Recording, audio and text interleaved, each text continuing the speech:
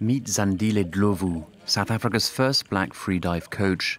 She teaches people to dive without any oxygen tanks. For a long time here, freediving was only carried out by white people. Now she is encouraging, above all, young black South Africans to discover the joys of the marine world. In becoming a freediving instructor, I knew for the first time ever that this passion needed expansion. And the water space has not always been diverse, and I wanted to create a space where diverse representation in the ocean space is possible. The students, who often don't live close to the beach, say they've learnt a lot with her. I learned that don't be scared, learn to be brave.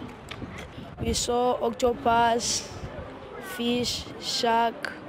Before hoping to become freedivers, the students have to learn all about snorkeling. My joy is the moment when one of the kids says, Oh, look, it's a fish, or Oh, look, it's a starfish, because it means that they have transcended the fear space to actually look beneath the surface.